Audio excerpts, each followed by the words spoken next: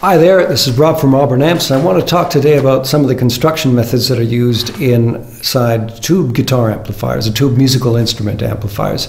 Now, the tube as an amplifying device has been with us for the better part of a century, and it's still the technology of choice for a, a lot of musicians because they sound splendid. And if they're willing to put up with the inconveniences, then uh, they can be rewarded with splendid sound. But uh, naturally, the construction methods that have been used by manufacturers have changed over that almost century. So, what I want to do is um, talk about each of the ones that were used that are all still available to hobbyists at least. Uh, to talk about the terminology and the advantages and disadvantages of each of those construction methods. Uh, the first one that was used was um, what we now call point-to-point wiring. Typically, there would be a steel chassis with terminal strips, a little strip of phenolic with terminal lugs on it, uh, bolted to the chassis, and the components would be soldered directly to these terminal lugs. And the, the circuit would be formed by the components themselves. There would be very little wiring per se. Uh, the advantage of this is that uh, there are fewer things to go wrong because there are fewer connections and it can be very solid. You could twist the chassis and the, and the components would stay in, in place. Uh, the advantage for the manufacturer, well, there wasn't really a, a, main advantage. It was the only game in town for the longest time, but they didn't need to have skilled technicians build radios or amplifiers. These people, the assemblers, could just be following a pictorial diagram, uh, assembling the components according to the diagram, and they'd have a working product. An advantage of point to point wiring is that the circuit can be very three dimensional, so you can have short paths uh, where needed, and this can help minimize. Um, crosstalk and, and hum and that sort of thing. It's very organic. Uh, it's also a dog's breakfast to look at. It's very hard to follow uh, when you look at a point-to-point wired amplifier to look at uh, to understand what the circuit is doing and what it's all about, or to reconcile it to the schematic, which is a 2D representation of a circuit. So uh, that would lead to errors in, um, in manufacturing, which is expensive for manufacturers, of course. And if you're building one yourself, it can lead to uh, errors as well. It's a great construction method, very solid. Uh, disadvantage um, is that the mass of the component is suspended by its own connections. So if it's a massy component and the thing takes some G's, then uh, then you could eventually wear down that uh, that connection and, and cause some reliability issues.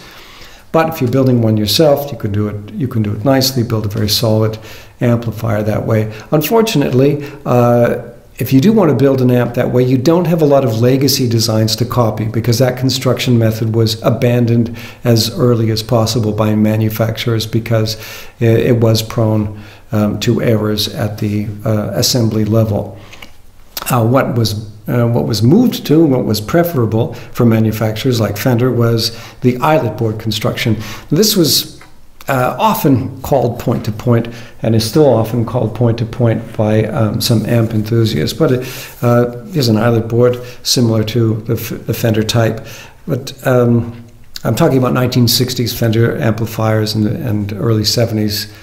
Uh, uh, they used this type of construction, except they used um, a fiber a fiber board, uh, um, a paper-based board.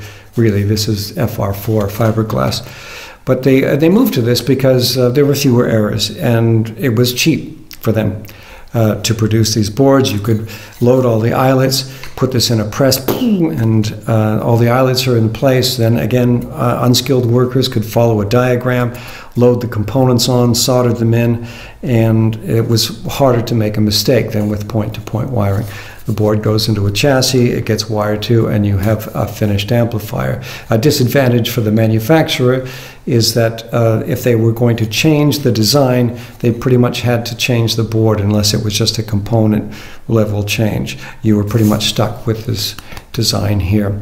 Uh, for a hobbyist, uh, you can buy these boards now and, and copy a legacy amplifier, build it the way it was built um, 50, 60 years ago, and that can be a very satisfying project for you. This is solid, reliable, the component body is supported by the board.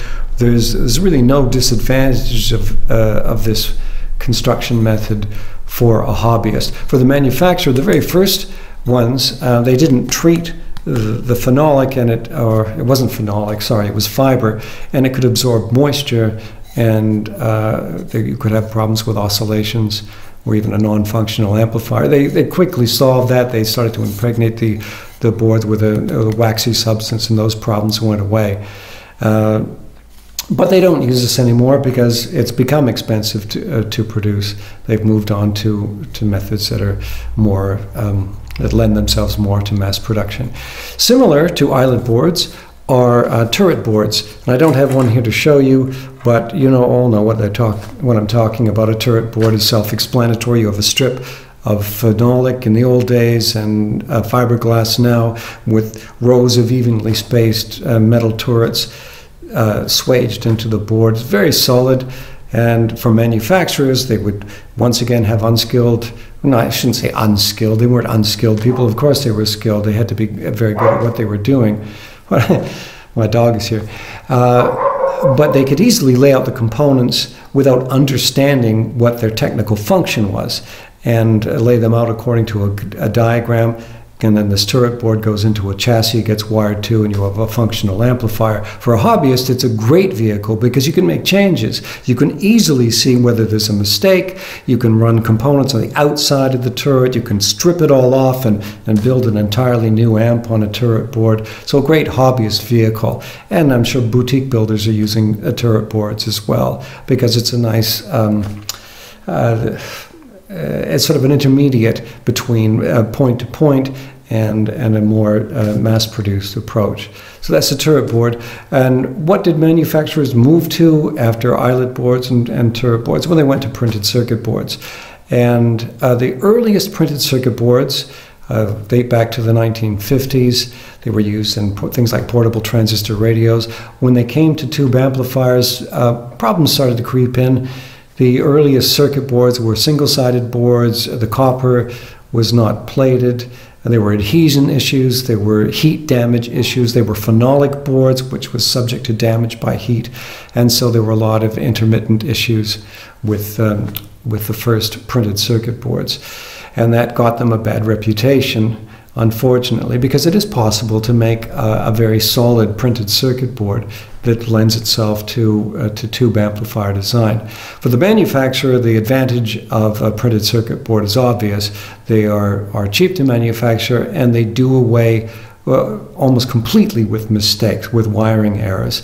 You load the components into the right places, you know the circuit is good and uh, they're very inexpensive to manufacture, especially if they take shortcuts with quality, which you don't have to do, and not all manufacturers have to do either. Uh, there's a printed circuit board uh, for a tube amplifier with ventilation holes for heat producing components. That's key. That's something that was often missed even after multiple generations uh, if mass produced amplifiers.